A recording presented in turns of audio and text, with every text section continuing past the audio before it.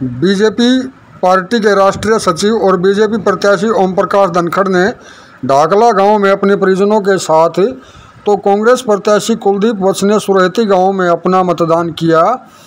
उनके साथ उनके परिजन और उनके वर्कर भी मौजूद रहे। दोनों प्रत्याशियों ने अपने अपने जीत के दावे किए। धनखड़ ने कहा कि स्वतंत्रता सेनानियों ने लोकतांत्रिक भारत बनाया। यह दुनिया के सबसे पुराने और बड़े लोकतंत्र का सौंदर्य है। शांतिपूर्ण मतदान हो रहा है। ज़्यादा से ज़्यादा मतदान की अपील करता हूँ। मतदान प्रक्रिया में भागीदारी बनना गौरव और गर्व की बात है। कुलदीप वत्स ने कहा कि मतदाता पूरे जोश और उत्साह के साथ मताधिकार का प्रयोग कर रहे हैं। उन्होंने लोगों से ज़्यादा से ज़्यादा मतदान शांतिपूर्वक करने की अपील की। इसके अलावा बादली से निर्दलीय प्रत्याशी अजीत गुलिया ने बादली में अपना मतदान किया।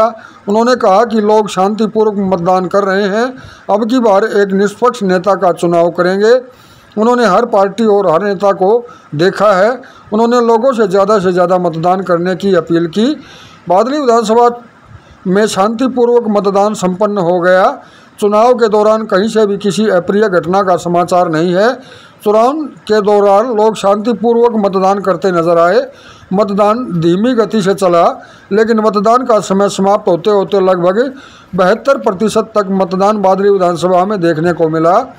बादली विधानसभा की अगर बात की जाए तो लगभग 11 बजे तक लगभग 25 प्रतिशत, एक बजे तक उनतालीस प्रतिशत, तीन बजे तक पचपन प्रतिशत और शाम छः बजते बजते लगभग इकहत्तर बहत्तर प्रतिशत तक मतदान पहुँच गया। इस दौरान जिला प्रशासन के और पुलिस के उच्च अधिकारी लगातार गश्त करते रहे।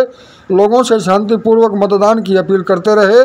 जिला उपायुक्त, police commissioner, Badli SDM Satish Yadav, Badli थाना प्रभारी राकेश कुमार के अलावा पुलिस व प्रशासन के अधिकारी लगातार लोगों से शांतिपूर्वक मतदान की अपील करते दिखाई दिए। मतदान केंद्रों का दौरा करते दिखाई दिए।